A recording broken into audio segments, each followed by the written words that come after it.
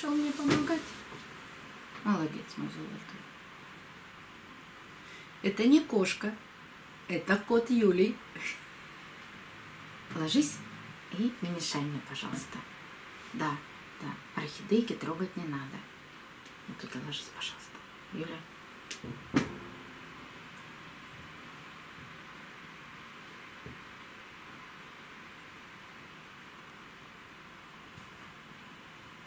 Молодец, ложись. Добрый день, друзья! Пришел наш помощник, и теперь я вам могу рассказать об орхидеях. В этом году мною задуман сериал об орхидеях из почтовой посылки. Я их заказала у продавца из Краснодара. Ссылку я оставлю в описании под видео. Я заказала большое количество орхидей, но специально для того, чтобы именно вам показывать, как нарастить корни в мху. Это подростки, это детки орхидей. Но получилось так, что будет два больших сериала. Один сериал об орхидеях, которые получены ну, практически в идеальном состоянии. Но получилось, что будет два больших сериала. Один сериал о здоровых орхидеях, а другой сериал о реанимашках. Мне предложили в подарок прислать несколько орхидей, и я попросила именно плохих орхидей, не совсем здоровых, в каком-нибудь плачевном состоянии. И получила целую огромную посылку. Это будет другой сериал. И будет два разных плейлиста. Ссылки на оба этих плейлиста я тоже оставляю в описании под видео. На сегодня рассказ именно о здоровых орхидеях. Причем рассказ сразу об орхидеях в размере 2,5 и в размере 1,7. Вот эти три крупных орхидеи Это размер горшка, в которых я их получала, 2,5 дюйма диаметр горшка. И, соответственно, растения более крупные. А вот эти две бабочки – это диаметр горшка 1,7 дюйма и, соответственно, размер самой орхидейки немножко поменьше.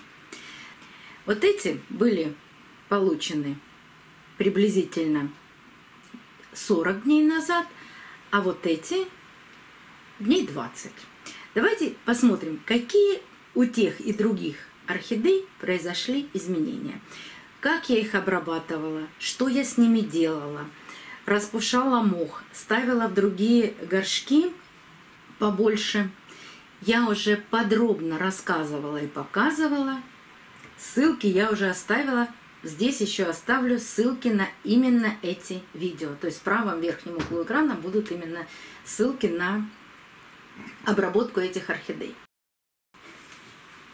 И начнем мы вот с такой орхидеи. Давайте посмотрим, какие у нее произошли изменения. Конечно, первое, что мы всегда смотрим, это растут ли корни в горшке. Да, растут. Начался ли рост корней от шеи? Да, тоже начался. И даже такой маленький корень от шеи, который был закуклен при получении, начинает потихоньку оживать и прорастать молодым корешком.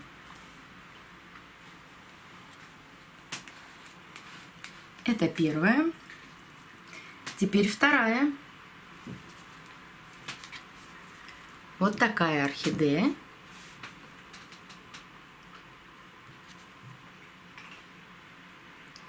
Это три мультифлоры.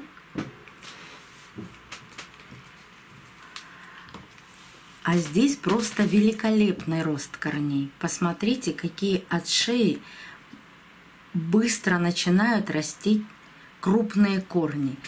И даже на таких маленьких загнутых корешках тоже виден рост.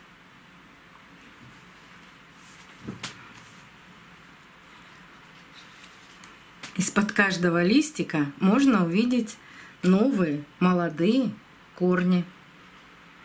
Ну и в горшке, конечно, есть корни. Фотография закрывает немножко корни, но вот здесь внизу видно. И здесь тоже. А прошло всего-то 40 дней. И третья орхидея –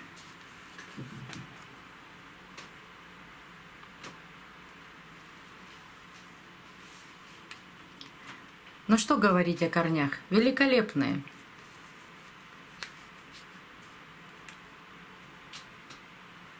Но у этой орхидеи появился цветонос.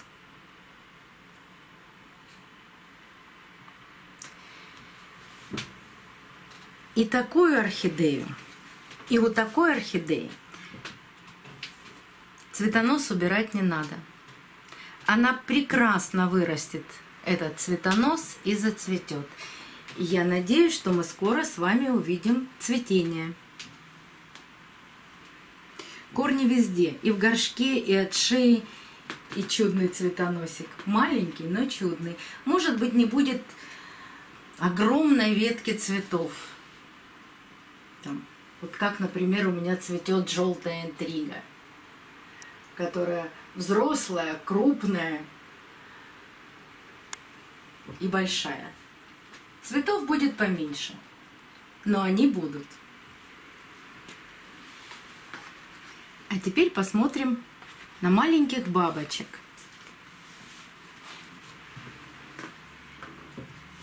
Так как это совсем малышки, и прошло не так много времени, растут они сейчас медленно. Но тоже по-разному.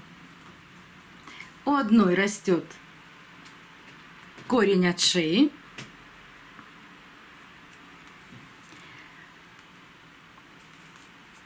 В горшочке подрастают и прорастают маленькие корешки.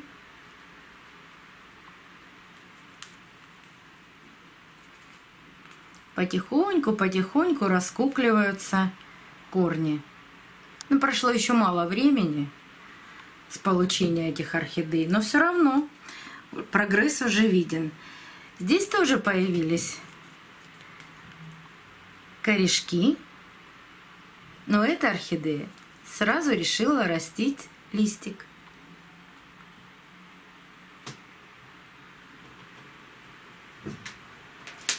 Как же я поливаю такие орхидеи?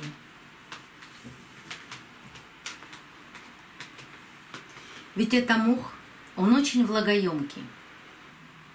И здесь нужна золотая середина. В основном я их опрыскиваю по верху мха.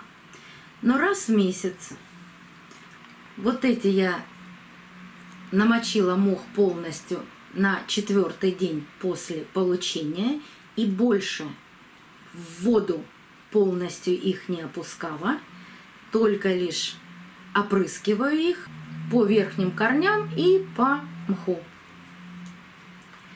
А вот эти я поливала два раза. Здесь мха больше, и я всегда опускаю пальчик внутрь горшка. Мух должен остаться у них чуть-чуть влажный, причем не снаружи, невидимая часть, а внутренняя часть. Можно туда поставить деревянную шпажку и смотреть. Если мокрая деревянная шпажка, то поливать еще не нужно.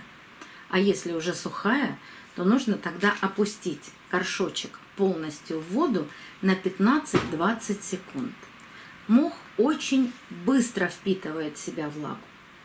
Потом сливаем и ставим обратно на место. Но так я делаю всего один раз в месяц. Остальное время я точно так же, как и малышей, опрыскиваю их по верху мха и только верхние корни. И вот так они прекрасно себя чувствуют, радуют ростом своих корней, листиков и даже цветоносов. До новых встреч, друзья! Увидимся на канале.